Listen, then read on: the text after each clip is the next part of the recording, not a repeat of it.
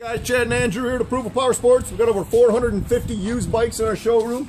Today we got one that's not going to be here long. It's a 2000 Kawasaki Ninja 250. We got this thing priced at $499. We call it a mechanic special. Doesn't run, but everything's there. It's a great bike for parts. Somebody can, uh, somebody that's a wrench can get this thing going, and they're uh, off and riding for 500 bucks. It's a clean Michigan title.